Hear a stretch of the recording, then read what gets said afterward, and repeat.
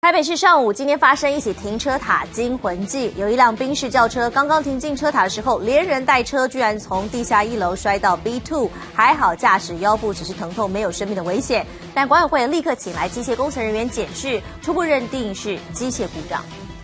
停车塔监视器拍下一辆黑色宾士轿车才刚开进停车塔，下一秒钟连人带车整个从地下一楼摔落地下二楼，巨大声响吓坏的管理员。就是那个升降机出问题，然后还有那个汽车漏油嘛。那现在整个地下室都是那个那个汽汽油味。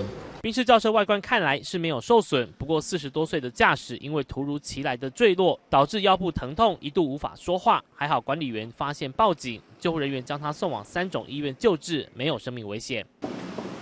由于明水路这栋大楼楼下就是知名的日本料理店，平常就开放外客停放。还好今天只是从地下一楼坠落一层楼，管委会也立即请来电梯机械工程人员到场处理。目前初步研判机械故障的可能性大，才会车子一开进停车塔，车板突然掉落。至于后续赔偿，车主表示等伤势好一点再和管委会协调。记者综合报道。